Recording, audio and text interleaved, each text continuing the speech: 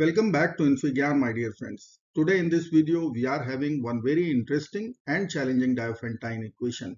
It is 1 plus y over y square equal to 1 plus x over x square plus 11 over x square y square. xy is non-zero integer. As it is non-zero value so we can multiply both sides with x square y square. So let us multiply first both sides with x square times y square. So left hand side y square y square we can cancel. So equation will become x square times 1 plus y equal to y square times 1 plus x plus 11. Now I will multiply x square plus x square y equal to y square plus xy square plus 11. Take all the term to LHS. So x square minus y square plus x square y minus xy square and then we can write equal to 11. Now I can use algebraic identity, the difference of two squares, it is x plus y times x minus y. Here. Now I can see xy is common. So in bracket it would be x minus y left equal to 11. Now you can see x minus y is overall common.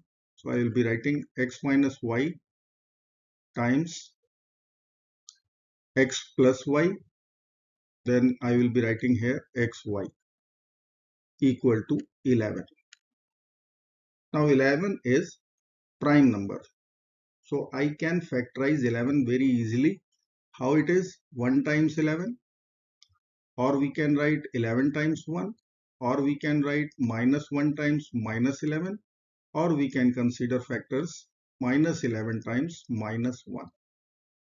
So these cases we have to solve. Let's consider one by one. So I will consider case 1. Here I am writing x minus y equal to 1 and second bracket x plus y plus xy equal to 11. Our equation was x minus y times x plus y plus xy equal to 11. So we considered 1 and 11. So what I will consider here from equation number 1, from this equation, I will write the value of y. So y will become x minus 1 and which I will put over here. So I can write x plus in place of y I will write x minus 1 plus x times x minus 1 equal to 11. So I can write 2x minus 1 plus x square minus x minus 11 equal to 0. So from here we are having one quadratic equation x square plus x minus 12 equal to 0 which factors we can write if? So it would be x plus 3 times x minus 4 is it true? No. It should be x minus 3 times x plus 4 equal to 0 so from here we are having x is equal to 3 or x is equal to negative 4 now I can see y is equal to x minus 1 so I can write our y value also. Let me write here y is equal to x minus 1. So y will be 3 minus 1 2 minus 4 minus 1 minus 5. So here we can write xy ordered pair. So from first case we are having two non-zero integer solutions 3 comma 2 and negative 4 negative 5. Now let us consider second case. case number 2. I will write this time x minus y equal to 11 and x plus y plus xy equal to 1. Same consideration, I will consider the value of y from 1. It would be x minus 11 and this value I will put in the second equation in this equation. Let's apply.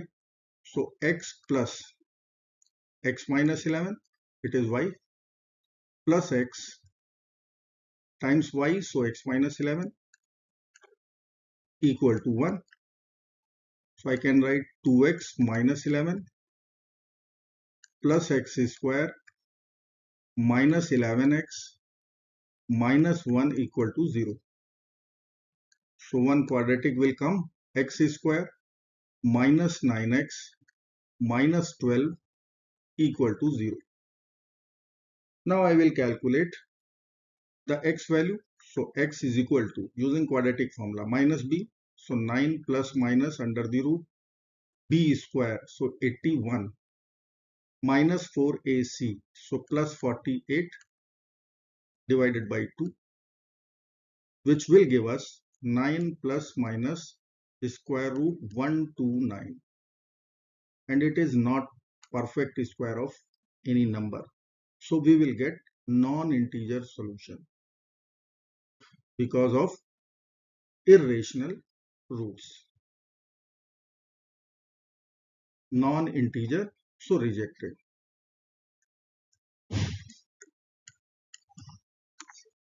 let us consider case number 3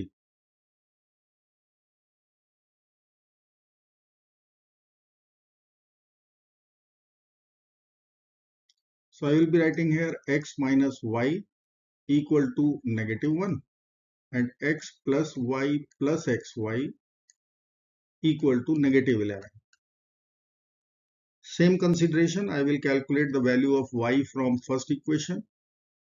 So y will be equal to x plus 1 and this value I will substitute here in second equation.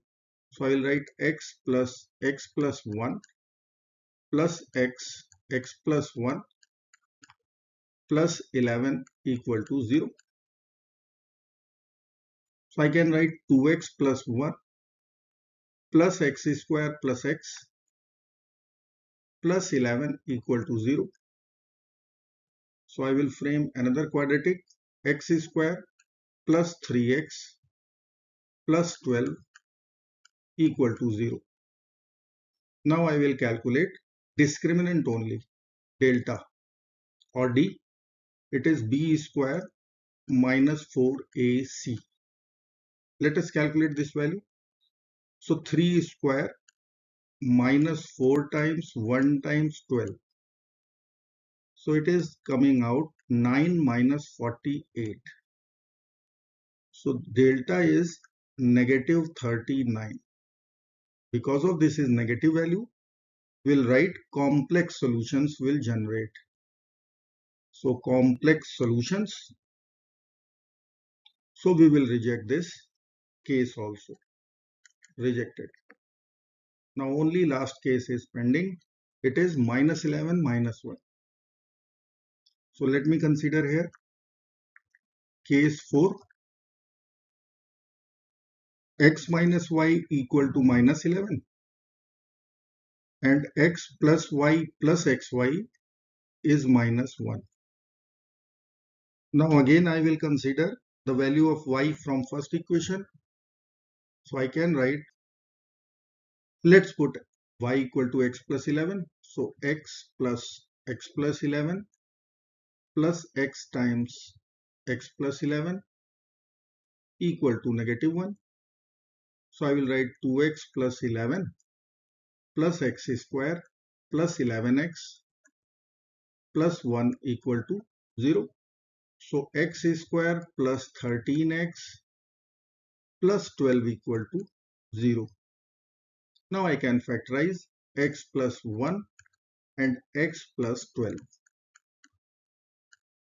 equal to 0. So from here we are having two x values negative 1 and negative 12. So using this equation, I can evaluate y.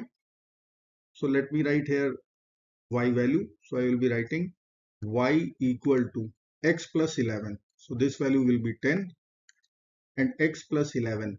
So I will write here minus 12 plus 11. So minus 1. So here we are having two ordered pairs. So let me write x comma y minus 1 comma 10 and negative 12 comma negative 1. So our overall complete solution of this Diophantine equation, let me write here once xy equal to two values are here. First value was which we calculated 3 comma 2. Second was negative 4 negative 5. Third was it is written over there. And last value is negative 12 negative 1 i hope friends this video will be meaningful to you. Do not forget to like share and subscribe. Bye bye till next video. Good luck and take care of yourself. Bye bye